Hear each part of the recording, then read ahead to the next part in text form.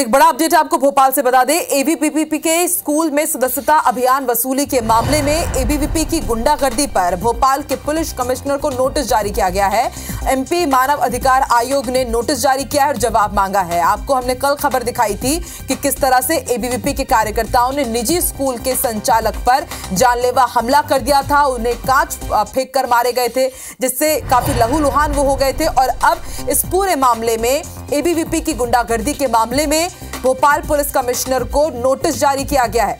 मध्य प्रदेश मानव अधिकार आयोग की तरफ़ से नोटिस जारी किया गया है और जवाब मांगा है।